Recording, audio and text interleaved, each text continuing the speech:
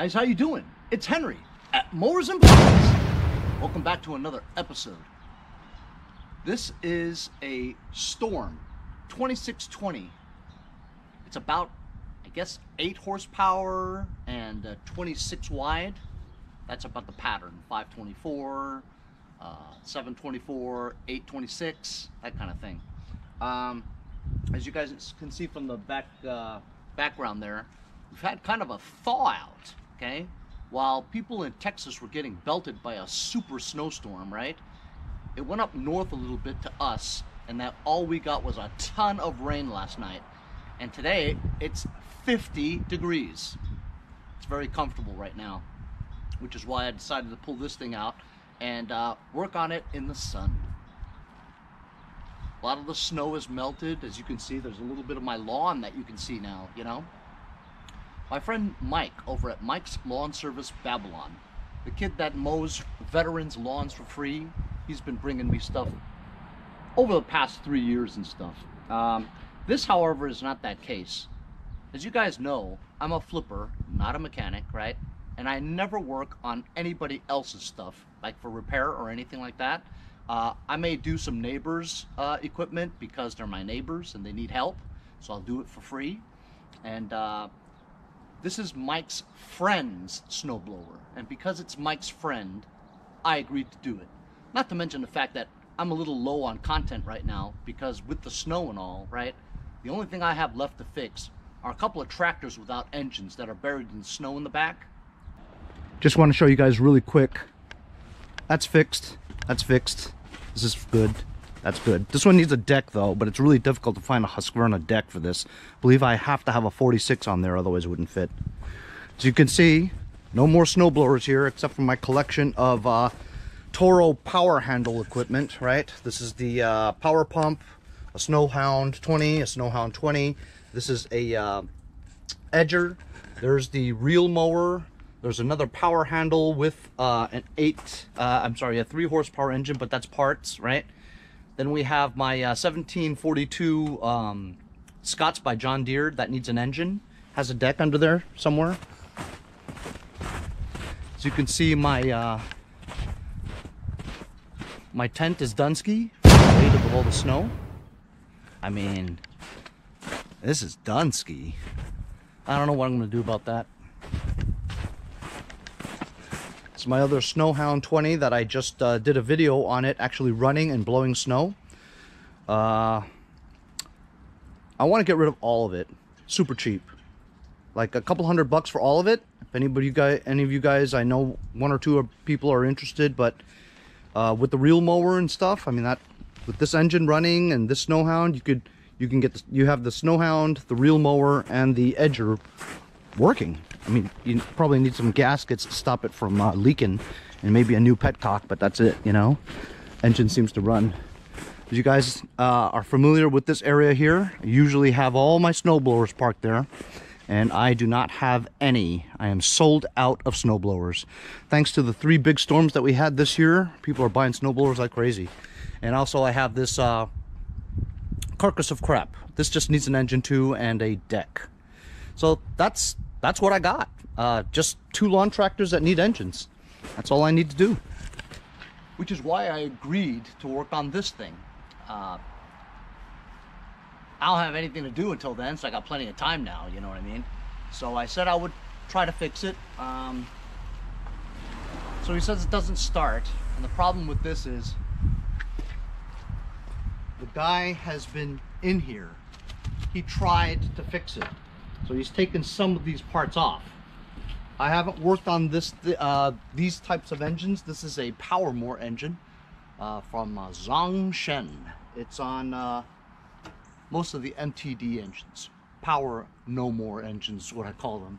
Um, and I've only worked on maybe one or two in my entire life, so I'm not, you know, completely proficient in the way that works, but, you know, we'll see what we can find. Uh, another complaint was that it does the chute does not turn, does not move left and right. Okay, this chute here it doesn't go like this, and also I think it's supposed to do something with the, uh, the directional here too, which it doesn't do. I am not sure if that's powered or not. You know. but I don't see a wire that goes there, so I doubt it. So I don't know what this trigger is for. But anyway, the reason why this thing doesn't move left and right is because if you look here, you turn it like this, right? And then you got that thing that moves. Well, this thing that moves, you need some kind of a Torx um, rod. It goes from here to there. As you can see, when you move this left and right, that thing moves, see? So you need some kind of rod that goes from here into there. So I says to him, um, it's missing some parts. Where's the rod? He's like, I don't know. So the rod's like 30, 40 bucks. it's gonna cost you, man. Unless you want me to do a makeshift one, you know, I could probably just find a rod and shove it in there and maybe do a tack weld and or JB weld and shove it in there. I mean, it's not to take too much uh, too much um, torque to turn this thing unless it's see I can turn it with my fingers you know what I'm saying so I don't think it's going to be that um, hard to come up with something that that you can jig you know what I mean? But I don't know if he wants me to jig it. It does kind of click too so you're going to need some torque there so maybe I do need the uh, exact one. We'll figure it out. I'm going to give you an overview of this. So this Troy-Bilt one is a uh, higher model. The reason why it's a higher model is because the normal one is a 2410. 2620 means that it has a wider um, clearing path for the bucket, auger, and impeller, um, two inches more than the uh, starting lineup, right? This is kind of middle of the lineup. Uh, with it being a 20, it means that the engine is a bigger engine as well. Instead of the normal 5 horsepower one, like a 190 or something, this is a 208 So you have a muffler guard here, the key, there's a um, lever cover over here. This is, I believe is the uh, choke selector.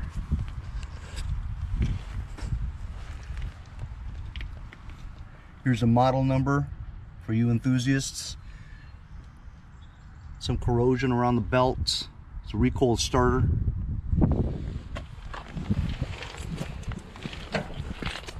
Does have electric start. As you can see, it's been taken out to get into here. This is the electric start. Has a stator in it, obviously, because it has a wire that goes to a headlight. Here's the driving auger lock. This is the auger control. Has a couple of shear pins here. And a bag with that stuff that he took off and the bolts. Hopefully all of it's there.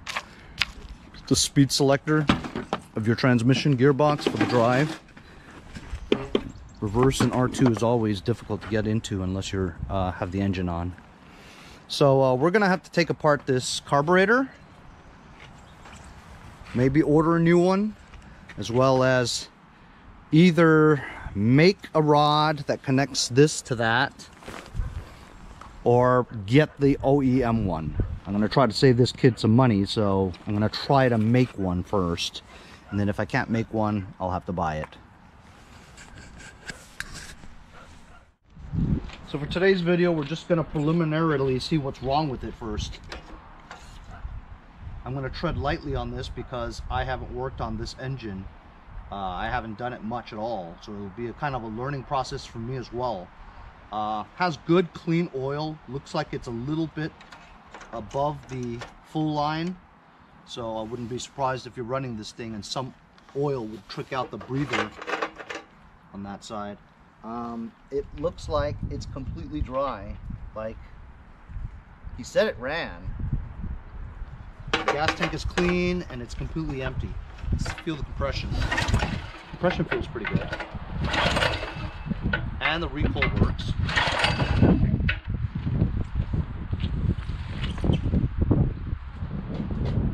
Looks like we might have a strip bolt here too.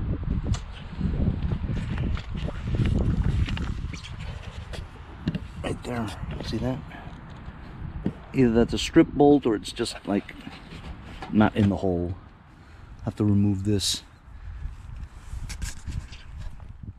Let's get back to this for just a second. As you guys know, in the past couple of episodes, I've been trying to refurbish or revitalize this dead lawn tractor battery. It's a 145 CCA.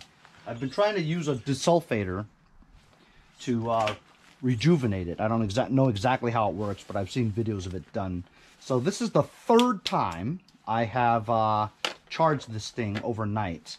Uh, the other two times I have put the desulfonator on there and it uh, ran out of juice. So right now it's fully charged again for the third time, showing 12.53 volts, okay? Um, it seems to have held it, the charge better the second time than the first time. Uh, after the first time I put the desulfonator on there and it uh, did this, right? 13.5, 13.4, right? And then it'll go to the cell. The cell is 12 volts. Then it'll go to the pulsing. When it uses, it does a cycle and it uses up all the 12 volts that's in here, right? It stops pulsing. Then I'll put the multimeter back on here again. And the first time it showed only 3 volts left, right? Then the second time I did it, it showed 5 volts left. So that's a 2 volt uh, improvement in how it held the charge. So I have a feeling that if I keep doing this, possibly it could hold a charge of 12.5. So that's my hope. We're, I'm just going to keep on doing these uh, recharge and desulfator um, sessions until this battery holds a charge. Um, I guess that's what how you do it. You know, I really don't know how it works. It's just a it's just a computer chip in there that a, circuit board. I don't know how that could, you know, desulfate a, a, a battery, but uh, I'm, I'm, just not sure how it works. Uh, I think Epsom salts or distilled water could be done in there to make it better, but uh, I'm going to try this first. Shout out to my buddy Roger McDonald who donated $25 to the channel. He wanted me he wanted to get the desulfator for me, but he saw my video and he says, "Ah, oh, you beat me to the punch." Thanks a lot, Roger, for the contribution. It's very generous and you're very kind. I always appreciate your loyalty and your subscribership. Uh, also, um, shout out to Aaron 2, my brother from another mother, another Asian redneck, who uh, donated uh, $10 to my channel after I helped him out back-to-back -back texting on how to fix his equipment as well. Uh, I'm always willing to lend a hand, and if you donate money to it, even better. So normally I would try to shoot some carb spray into the mouth of the carburetor and see if it turns over, right? Just to see the status of the engine. But with these engines here, they're all covered up with these shrouds. You simply can't get to it. It even blows. Um,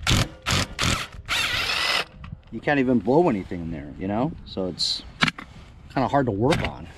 So according to that, it looks like that was the last um, one. This thing here looks like is also on there. And looks like I have to take... I also have to take this apart to take this off. Wow, that is that is a royal pain in the yum yum. You know, I'm gonna try to just take this part off without taking that off because that's just too much trouble, you know. I'm gonna just jar it a little bit.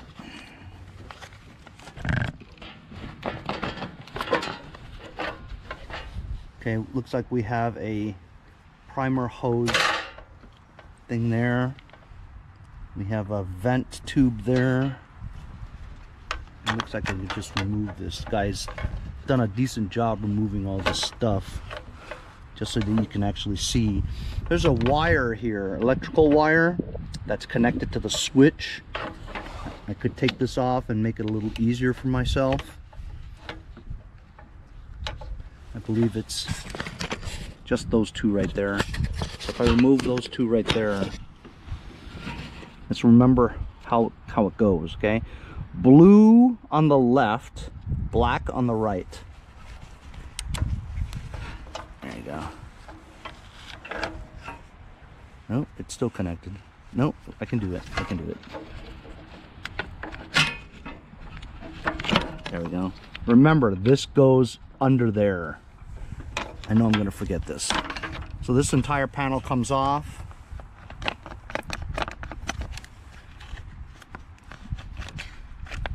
Man, oh man, all the linkages are taken out already. I don't know how that went. That's what it looks like. Gasket looks okay. I remember uh, Mike telling me that it needs new gaskets. That seems to be okay, actually. Notice this? How the two studs, this is lower than this one. This one's way higher. Right?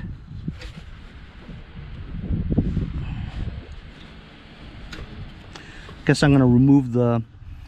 I was gonna just blow some um, go-go juice in here and see if it starts up, but it's not sealed properly because it needs to have the bolt on here to keep it down, you know? So I'm just gonna remove the whole carburetor and see what we find on the inside. I'm gonna take the fuel line off of this side of the carburetor, loosen the small um, wire there as long uh, as well as the throttle linkage and get this carburetor off and we can take a better look at it. Take that hose clamp off.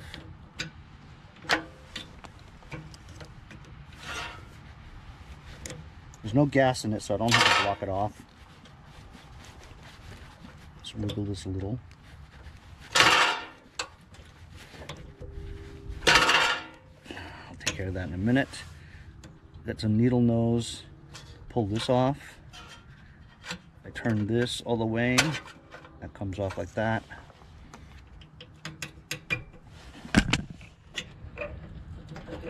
And I do have to remove this.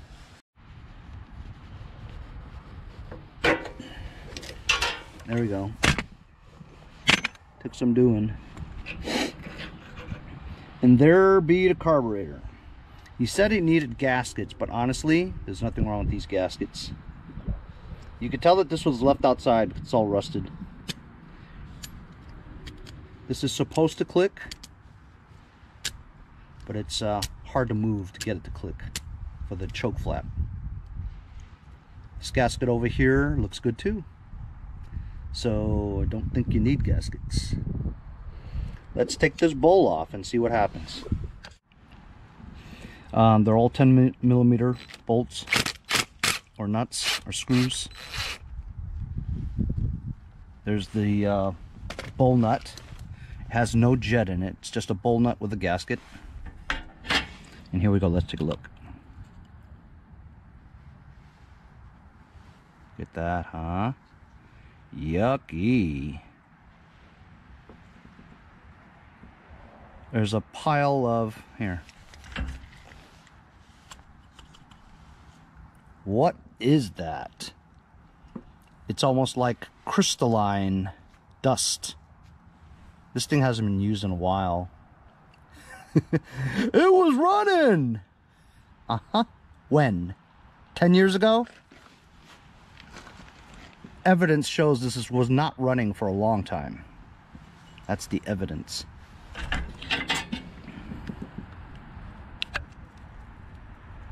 Uh-huh. The needle is stuck in there. It's not moving, see? Let's try to remove the bowl, uh, the float. Let's try not to break it. I am infamous for breaking these, though. Yep. Yep. Going to take a bit to get this uh, pin out without breaking the posts. But as you can see, I'm moving the float and the needle is not moving, which means that the needle is stuck in there from all this corrosion, uh, old ethanol buildup, dried gum. But I think this carburetor could be fixed or cleaned without buying it. If I could do that, save the kids some money, that'll be worth it. I'll put some penetrating oil on this thing. Got some contact cleaner from my friends over at Lucas Oil Products. Same thing as carb cleaner. I'm just gonna shoot some there. Just let it uh, soak and get some of that corrosion maybe out of there, you know?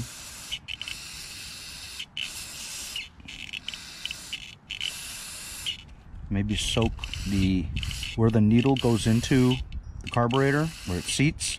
Just clear it up a little bit. And I'm gonna use some penetrating oil from my friends over at Lucas Oil Products. We'll let that soak a little bit too.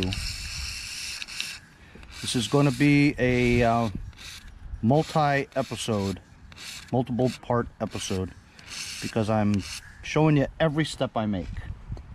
I'll be watching you. I'll let soak for a bit. It's been soaking for a while and look what I got it to do. starts to move.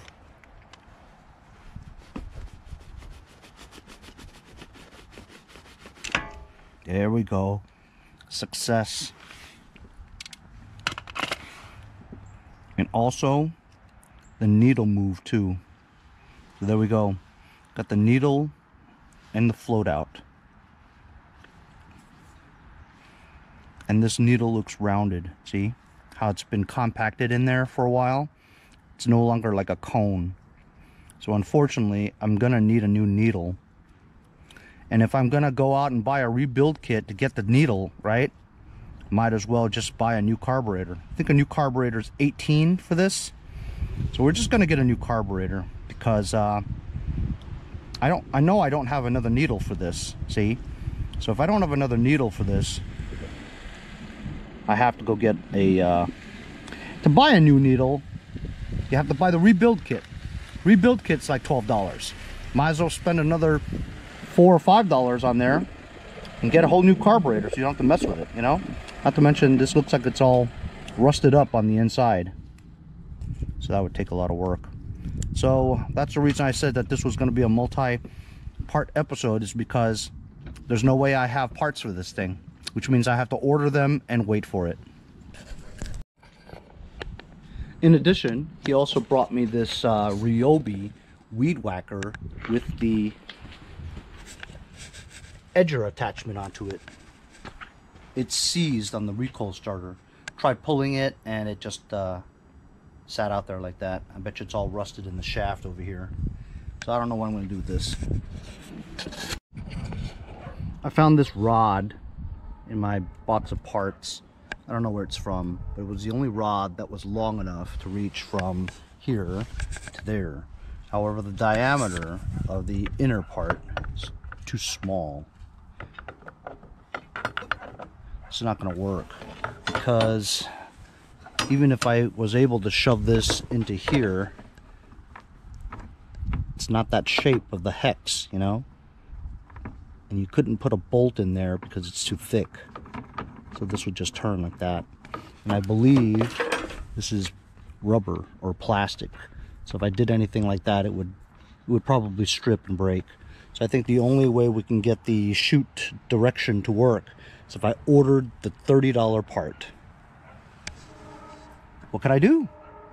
It's uh, too difficult to fabricate because of the plastic attachment here, you know? If this was metal, it might be easier because I could just do a spot weld as well as this, but then you wouldn't be able to take it apart again, you know, it'd be permanent, you know?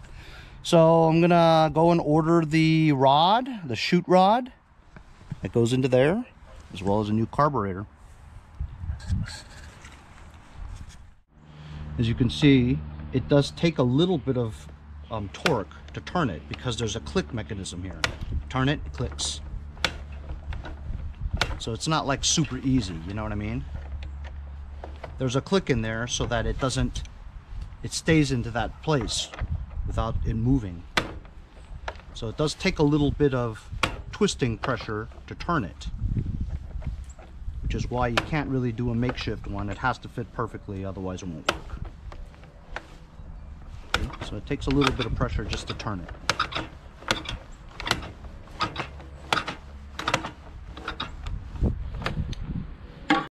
So I was just messing with this carburetor just to see maybe I could get it to work, whatever. But uh, so I tried to remove the inner emulsion jet, the main jet, stripped it, wouldn't come out. And also there was so much rust buildup and, and that crystalline stuff that it got stuck into the thing. I can't even I can't even put my uh, torch tip cleaner in there. It's all jammed up. It's completely jammed up in there, solid, because I tried to blow fluid in there and you couldn't see it out of the emulsion tube. You couldn't see it coming back out there. So this um, this emulsion tube's completely clogged up with uh, stuff in it. It's, it's rare. I, I've never seen that, you know? So this carburetor is Doneski. This carburetor is definitely Doneski. Too bad, too. So you guys want to see something? What do you see? I found a carburetor in my box of carburetors. It's identical to the one that I need. And if you flip it over here, 17 OSA, 17 OSA. It's the exact carburetor that I need. what are the damn chances? I looked in there because I was looking at this carburetor. I'm like, it does look familiar. I think I might have one. So I went and dug in there, and sure enough, I found a carburetor that looks just like it, made by Huayi.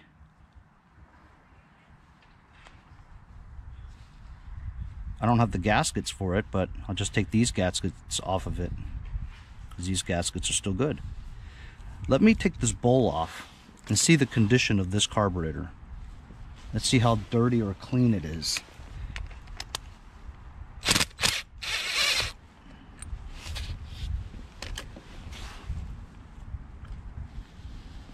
Nice. I'm to clean this up a little bit, blow through some of these holes. I guess I'm going to try and install it and see if it works, you know? That, that'll probably save a little bit of money for uh, Mike's friend. As you can see from this one, when you blow through the emulsion tube, goes all the way through. The other one was stopped up.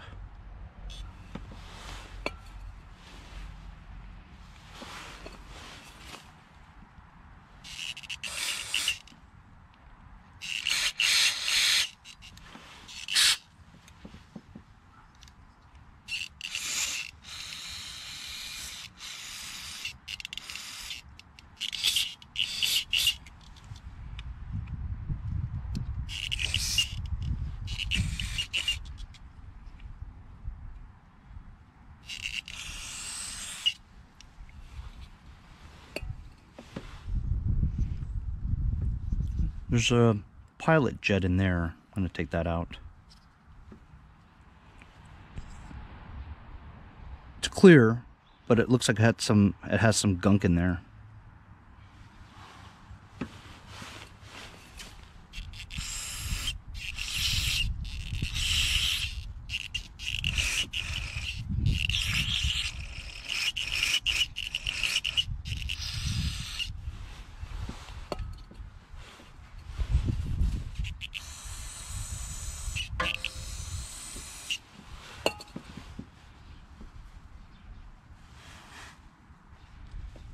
I'm gonna stick a Q-tip into that hole just to get the sides. Okay, I cleaned this carburetor pretty good. It wasn't dirty, I mean, much, you know. I feel pretty good about it. It's amazing that I found the same carburetor though. I'm gonna take the gaskets off the old one, put it onto the quote-unquote new one, and uh, put it on. See what happens.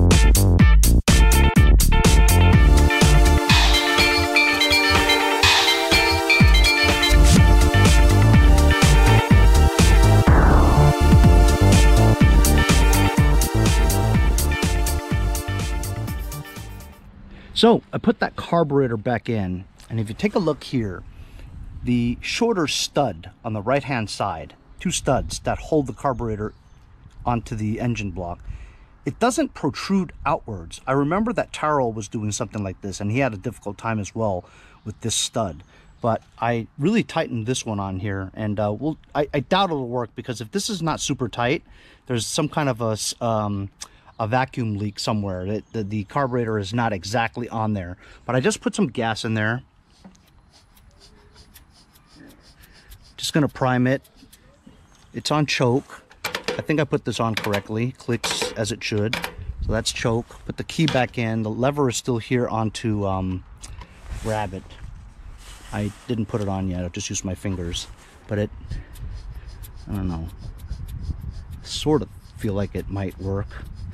Let's give it a couple of cranks and see if it uh, fires up, huh? I, I don't feel any fluid going in there. It just doesn't feel right. I don't know. Either way, let's uh, give her a few cranks.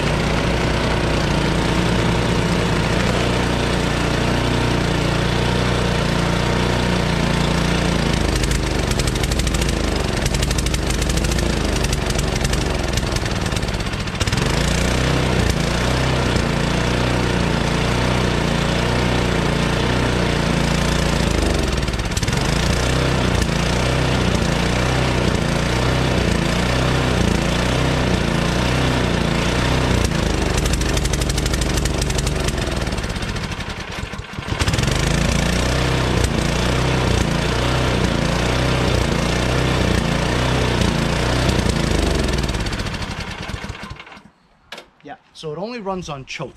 I have a feeling it's because the carburetor is not exactly uh, sitting on the um, engine block because of the lack of tightening that second right side bolt. I'm gonna have to tear it apart again and so the reason why this is not the carburetor doesn't go all the way on is because this second bolt is not just short for a reason. It is shorter, as you can see, thread stops there, right? And it's about a half inch shorter than the one on the left, right? But rather, this second bolt is broken, see? The piece is broken off. As you can see, the length of this is about um, a little more than half an inch, probably three quarters of an inch long, the threads, and you can only see maybe a half inch left here. So, as you can see, this is broken off. So I have to replace this stud. I don't. That's going to be difficult to do. But I'll go look in my uh, box of parts. I'm going to have to take this carburetor back off again. So to remove this stud, I have to turn the stud counterclockwise. So I put a uh, 10 millimeter stop nut inside along with tightening another one on the outside. So then I'll move it to the, move this wrench to the inside if I can. Have to line it up exactly perfectly to that one. And there we go. Now let's see if we can turn this counterclockwise and turn the stud. And it looks like it's turning. And this is how you remove the stud without stripping it. Looks like it's working.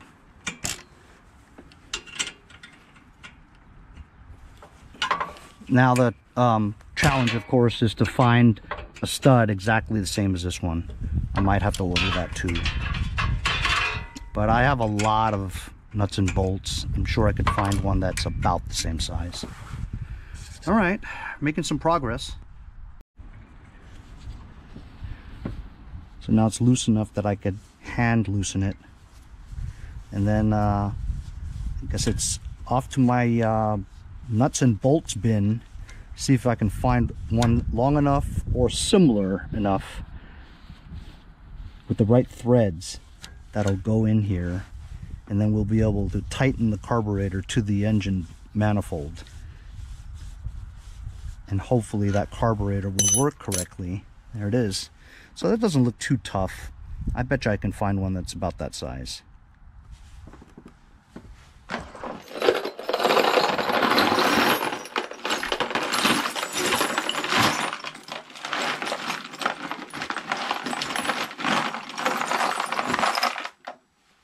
probably easier this way to find it than the other way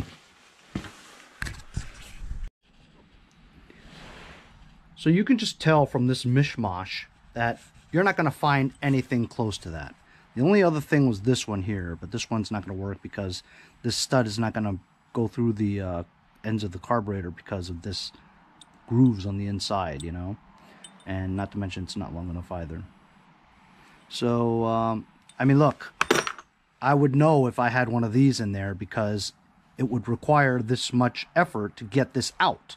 So I don't recall ever doing that, you know? So I know I don't have it. Uh, looks like I might have to um, buy this part, you know, if it's available.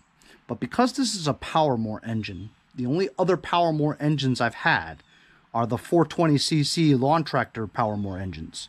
So I'm going to go in a back shed and look in the Powermore engine boxes to see maybe they might have something similar to this. That's my only shot. Otherwise, I have to buy this part.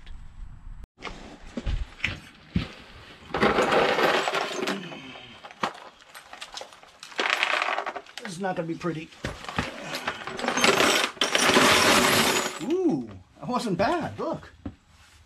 Only a washer flew off. Skills, man! So no dice. I couldn't find one from the Power No More. But I did find one similar on a uh, Kohler X XT675 head. Remove the stud just like I did this one. It only is slightly longer.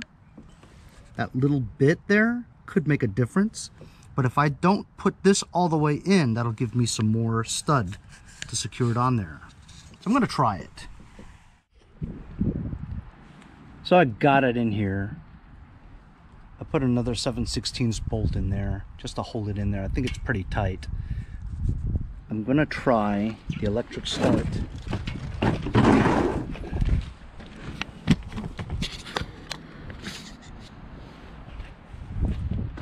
Plug in the electric start, see if it works.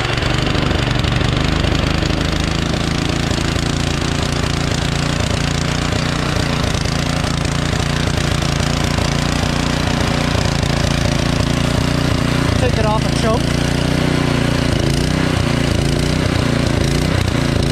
All the way.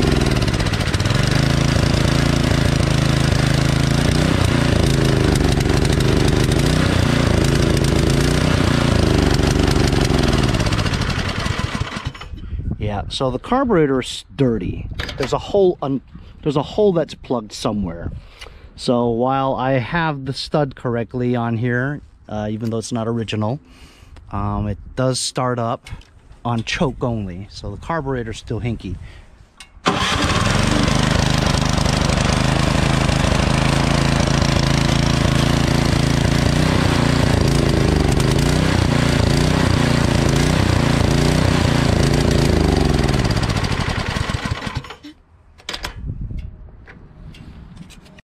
Just took the carburetor apart again. Just took out the main jet. I'm gonna clean up these holes. Uh, also, I got the pilot jet little hole on the top too. So maybe that was it. I'm not sure. But um, I really know how to take this apart now. I've done it like eight times already. so here's the main jet. Look when I stick the uh, pin in there. While it did go through there, right? Look at the amount of corrosion dust that's coming out of the hole. So while a hole was clear, it does have a lot of corrosion. See? This was a clean needle before. Now you stick it in there. It's got all this chalky residue in there, you know. This one goes all the way through too. But as you can see when I poked the needle through the hole, there's some chalky residue in there.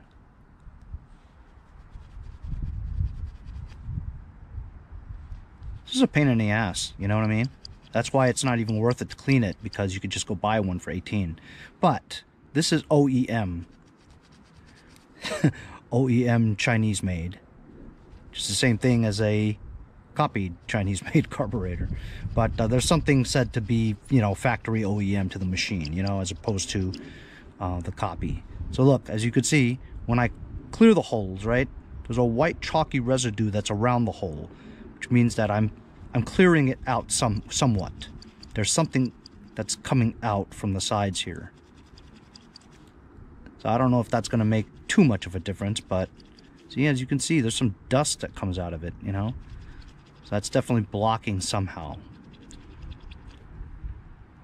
So I'm just going to do this, clean it up, put it back together again, give it a try. If not, if it still doesn't work right, I don't know, man.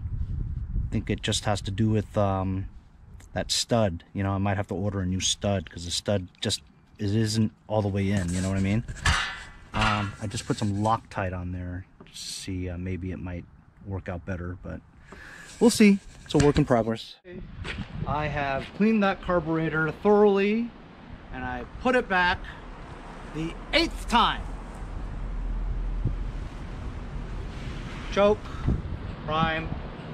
Let's give it a try. Let's see if it stays running on run and not just choke. No,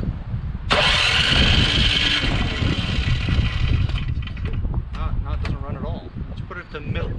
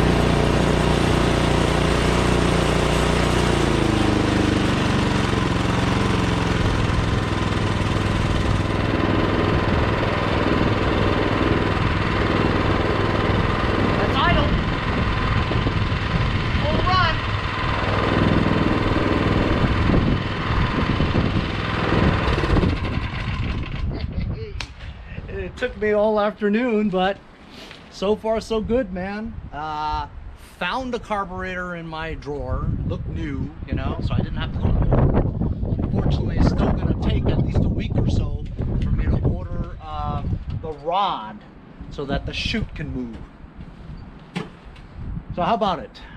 Fabricated a stud, uh, Loctited it out a little bit so that it's uh, it's sticking out more than I need, you know, or as much as I need, and uh, didn't have to order the stud because I fabricated something to make it work, you know. And uh, gaskets were good. Cleaned that carburetor like three times, but took the main jet out and cleaned out the little holes, and uh, that was the culprit. It was uh, corrosion that was in the the air, the main jet with the little tiny pinholes, just getting through every hole blowing it out with some carburetor cleaner to get that varnish and corrosion out of there makes a big difference, you know, obviously, because now it it, it uh, starts on choke, runs on run, you know. Before it would only run on choke, and that's it. The minute you turn it, click it to the middle, it would stall. So uh, pilot jet, main jet, all that was cleaned out. That was the culprit. Um, gaskets were good. Tightened it uh, real nice with the uh, stud that I fabricated. And uh, all we need now is that is that rod. So pretty cool. I mean, I, I worked on this for two three hours. Um, but you know what? It's it's a learning experience for me because I haven't really worked on these Powermore engines too much. You know, I, I always make fun of power no more engines, but honestly, it sounds okay. You know, light always comes on, and uh, I'm pretty satisfied. Uh, thanks a lot for joining me on today's long episode of swapping out a carburetor, cleaning the carburetor, fabricating the uh, carburetor mounting studs. And we got this baby running. I'm gonna put the rest of this stuff back. You know, this needs to be on there. Just a bunch of screws, levers, little things on top of the levers and stuff like that. I'll put put all that back, and I'll order the rod. Cool. Cool. It's very satisfying to get it going. You know what I mean? Uh, I I don't know how long I would have kept on trying to do it without ordering a carburetor, but. Uh, you know, just keep trying, keep trying. Eventually, you, you're gonna know you missed a hole somewhere, and sure enough, you get all the holes, you'll run just fine. See you guys next time on Mowers and Blowers.